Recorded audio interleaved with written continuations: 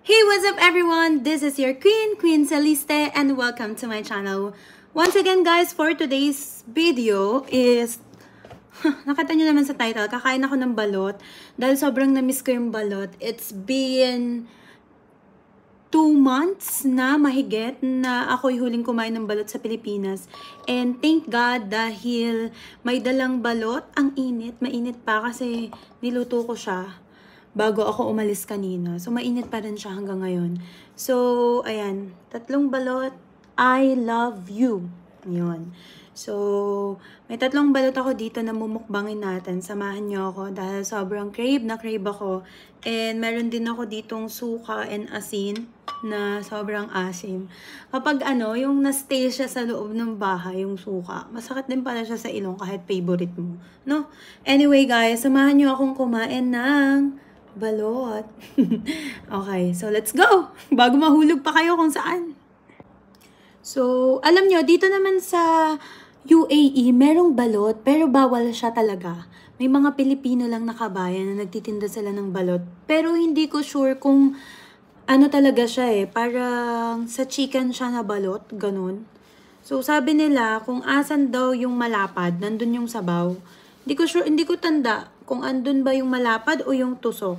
Feeling ko yung malapad. So, ito yung part na malapad, guys. Tinitisyo ko kasi mainit. Tok-tok natin sa pader.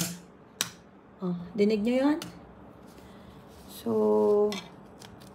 oh, ayan. Look. La, mukhang penoy naman to.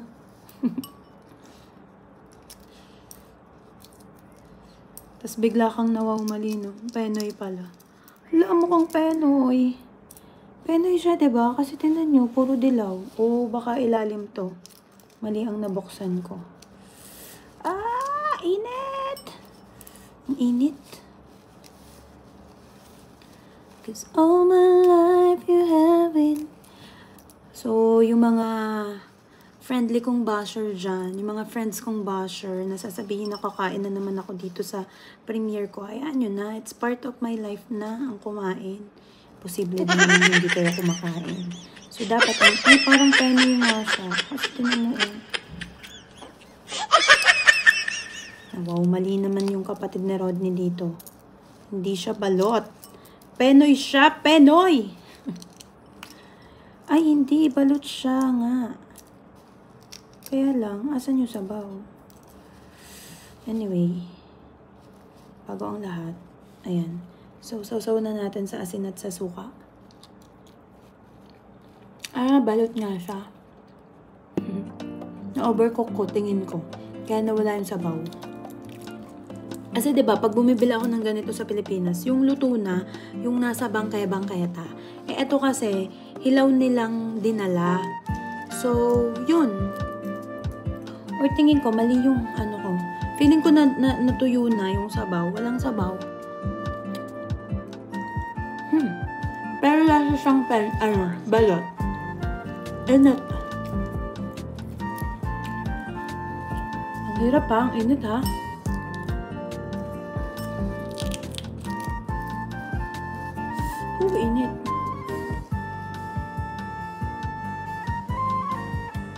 Ano bang kaibahan ng penoy at saka ng bal? I, I mean, ang kaibahan ng penoy sa normal na egg. Ano yung normal na egg? Yung tawag dito? Hmm.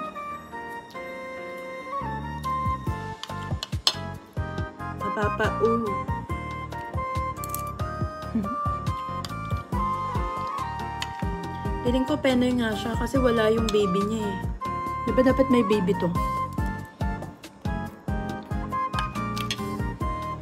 Hindi po siya balot. Balot! Hindi balot talaga yung binigay mo. Nawawmali tayo. Okay, next. Isa pa. Try naman natin sa patusok naman. Ang tigas na na. Uy, tingin ko ito. Tama na to. May sabaw na to.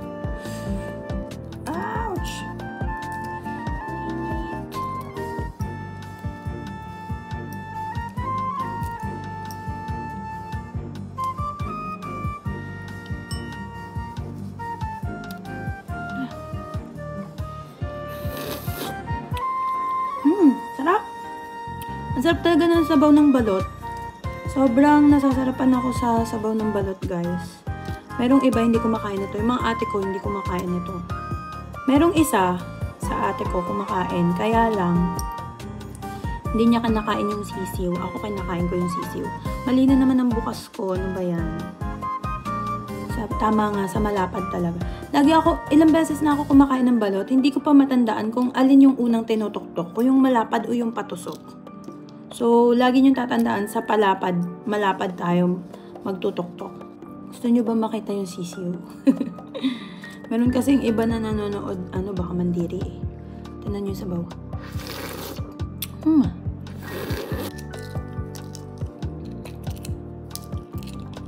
Aray, aray. Ang init. Sobrang init.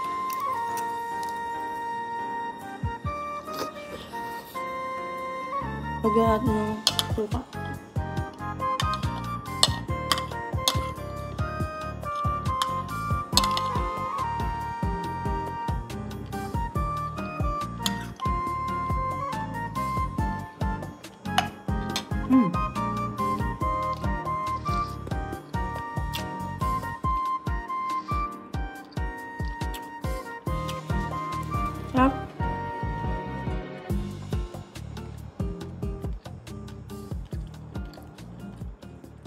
Piling ko ang galing ng pagkakaluto ko. Kasi yung white niya, hindi ganun katigas. Hindi din ganun kalambot.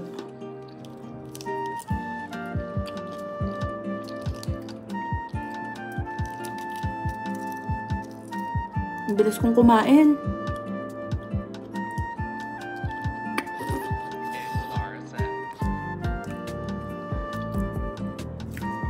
Ayan yung baby, oh. Kain na natin. Lagyan natin suka.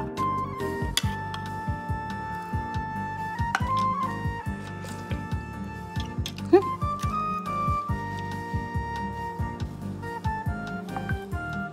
Fluffy.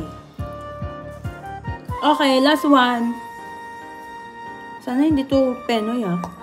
Okay, so tapos na akong kumain ng balat guys. And tuloy naman natin yung pagkain ng mangga. Look how big it is. Diba? Laki ng mangga ko. So, sa ko pa rin siya isasawsaw. Actually, gusto ko sana ng toyo at saka ng asin. Pero, may suka pa kasi. Ayoko siyang itapon. So, susuka na lang natin siya isasawsaw. Okay?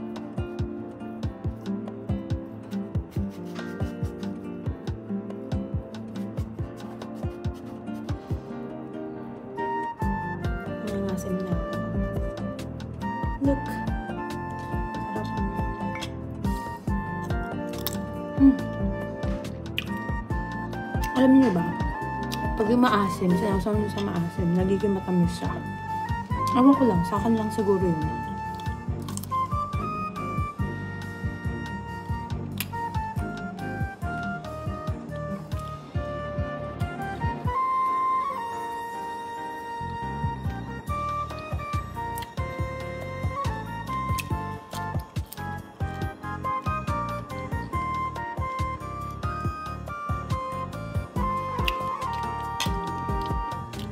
Ilang weeks ko na itong kinakrave, yung manga.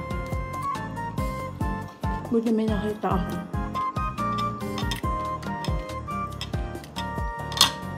Mm.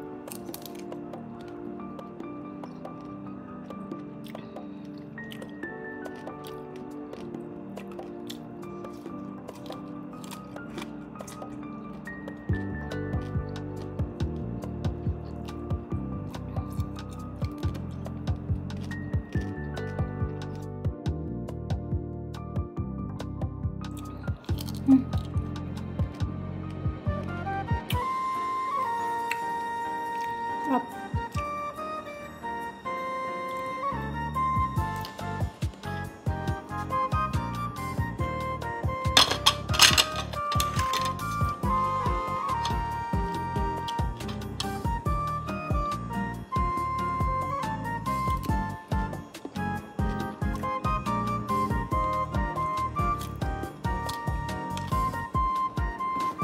Wala na ako nasabi. Kain na lang ako ng kain. Laki, diba?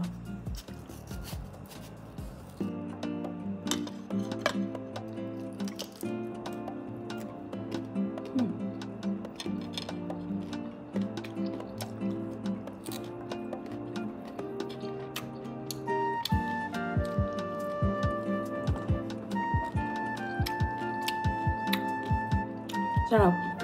Ano kaya, kumusta kaya ako mamaya? Mangga, tapos balot. Pinagsama ko. Mukbang pa more. Mga asim kayo. Hmm.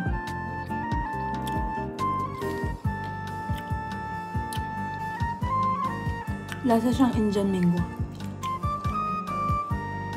Medyo pricey lang yung mangga dito. Pero yung Pakistan, mura lang sila. Yung Pakistan na mangga. Pero hindi pa tag-Pakistan eh.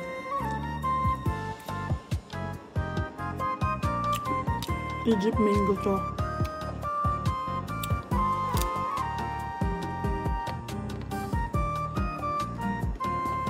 Comment down below guys, na-try nyo na bang pagsabayin yung mangga at saka balot na imukbang at the same time?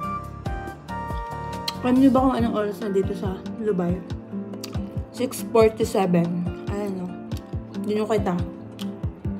6.47. Basta, maniwala na lang kayo sa akin.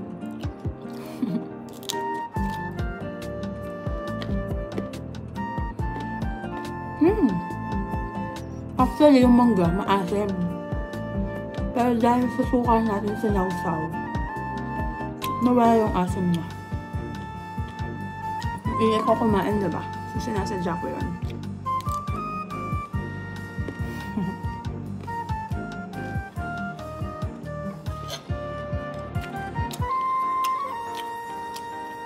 Meron pang one-fourth.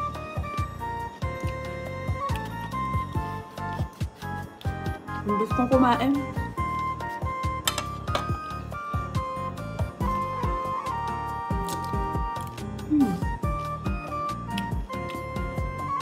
Lagi na lang ako nagmumukbang mag-isa. Magkayang iba na papalit ko mukbang. May kasama sila. Hindi kasi pwede nang ganito yung asawa ko eh. Alam niyo kung bakit? Hindi siya mahilig magkakain ng... Gusto niya kanin. Magmukbang kaya kami ng kanin, baka mapapayag ko siya.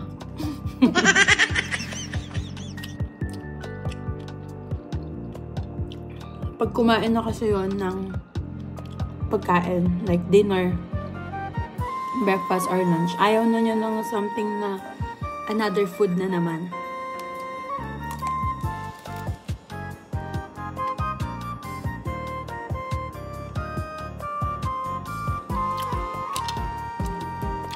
Tigas na ba?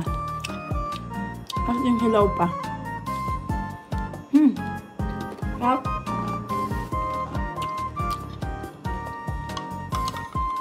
Sarap ding higupin ang suka.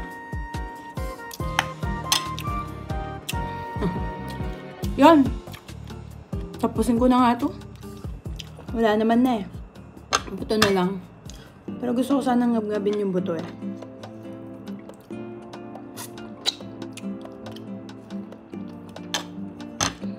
Kaya lang, busog na ako. Nakakabusog din pala yan.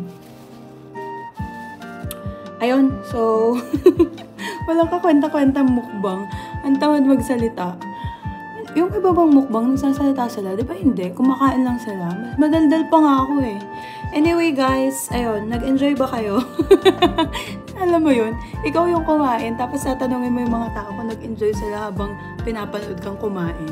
Eh, yun yung naririnig ko at na sinasabi ng ibang nagmumukbang eh, kung nag-enjoy sila nanood ng mukbang. So, ayan, shoutout sa kulot ko. Ang tawag sa kulot na to ay andan. Tapos, buhaghag na dahil galing ako sa labas. But anyway guys, thank you so much for watching this vlog. And sana nag-enjoy pa rin kayo dahil ako lang yata yung medyo madaldal na nagmumukbang.